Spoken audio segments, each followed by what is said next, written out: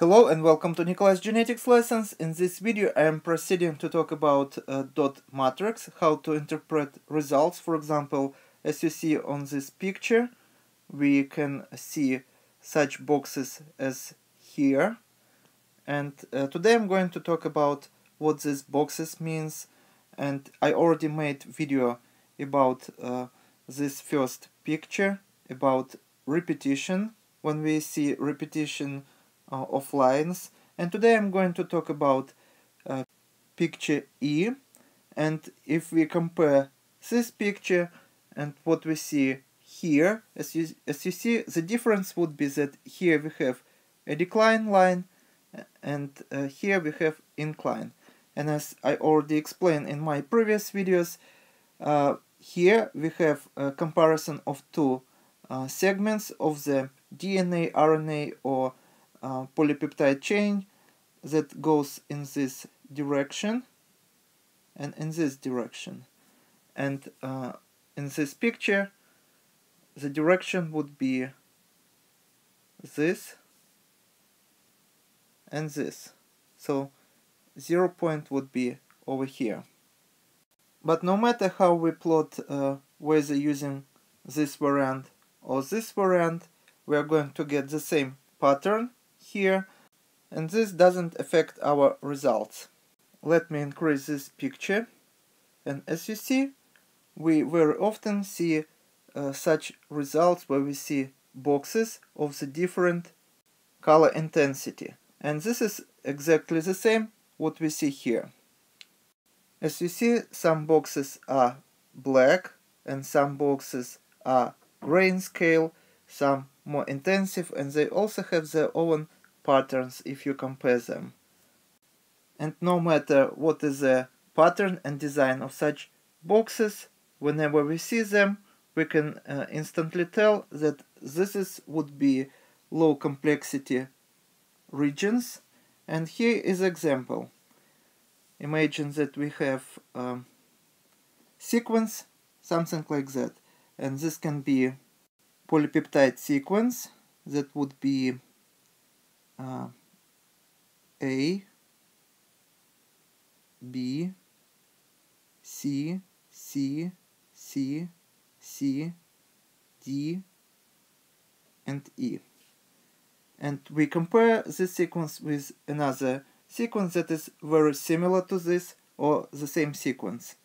So this is small fragment, so we can expect that uh, we can find uh, two uh, fragments that is would be similar on the different uh, polypeptides.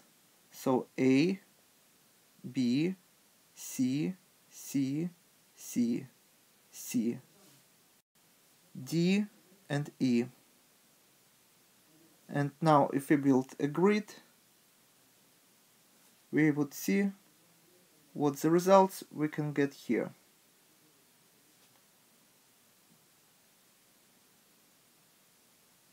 So as you see we have a repetition of C here on both strands.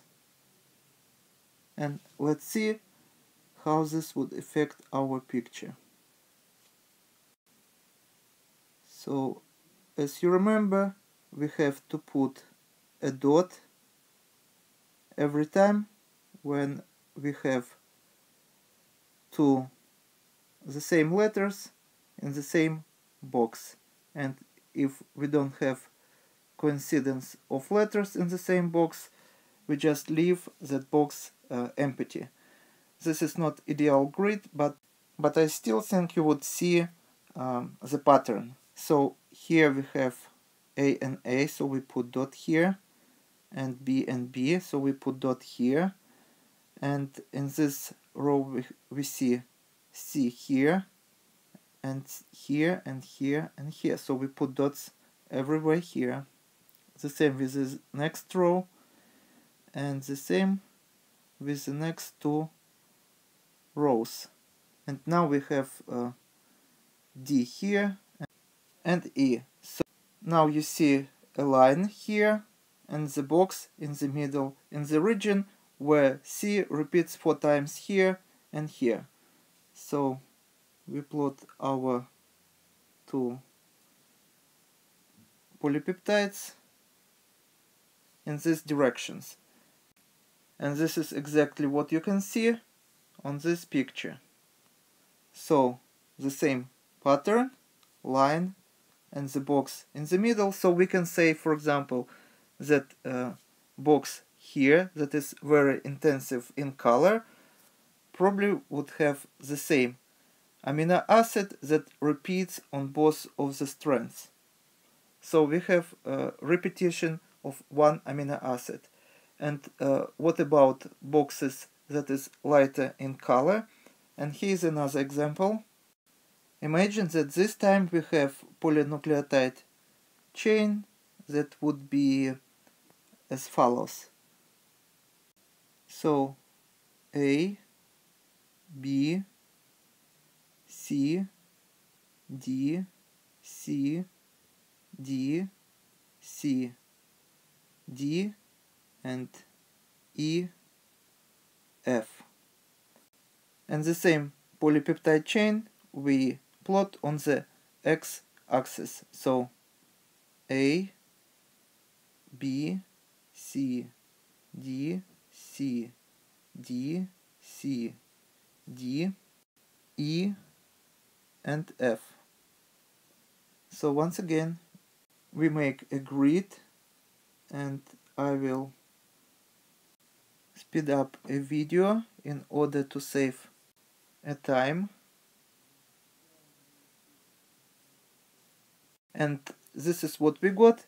And let's once again put dots whenever we have the same letters.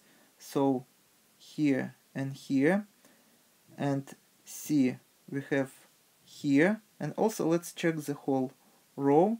So we would have also here and here and next row we would have repetition of D we put dot here here and here next row repetition of C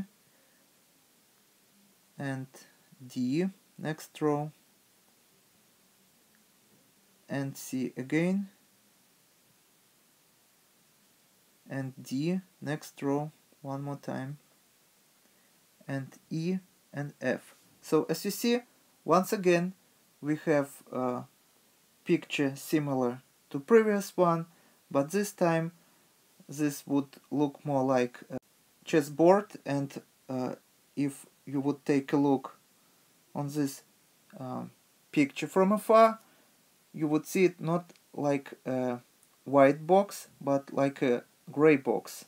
Because here we have a mixture of black uh, cells and cells that we can uh, completely uh, make white. And in this case we would see gray color. And that means whenever we see gray color that this is going to be repetition of two or three uh, this can be nucleotides or uh, polypeptides. We also call this uh, satellites. So as you see here we have uh, repetition of uh, C and D on both strands and this uh, how we also get a pattern where we have lines. So this can be one line second third and so on.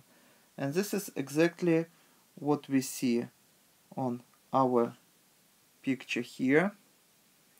For example this box looks like uh, just uh, diagonal lines those boxes that looks uh, very dark can be uh, repetition of the same residues tens and hundreds of times.